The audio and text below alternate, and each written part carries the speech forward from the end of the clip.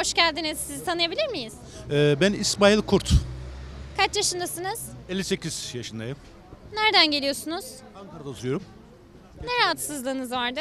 Prostat e, rahatsızlığım vardı. Şikayetleriniz nelerdi? Yani sıkışma oluyordu. Yani ansızın birden sıkışıyordum. Hiçbir şey yok ortada. Birden sıkışıyordum. Bitkileri ne kadar kullandınız? Aşağı yukarı iki ay kullandım. Ne gibi faydalar gördünüz?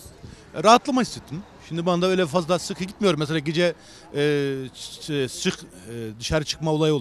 Şimdi çıkmıyorum. Bunca zamandır rahatsızlığınız için neler ödediniz? Vallahi epey bir zaman şey yaptım yani. yani miktarını bilemiyorum yani. Devletin tıbbi ilaçlar gibi bitkileri de ödemesini ister miydiniz? Yüzde yüz. Yüzde yüz istiyorum yani. Bu konuyla ilgili başbakana, siyasilere söyleyecekleriniz neler?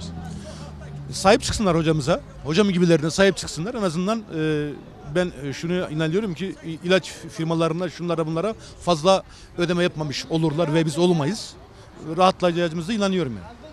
Son olarak Doktor Ömer Coşkun'a neler söyleyeceksiniz? Allah başımızdan eksik etmesin diyorum böylelerini.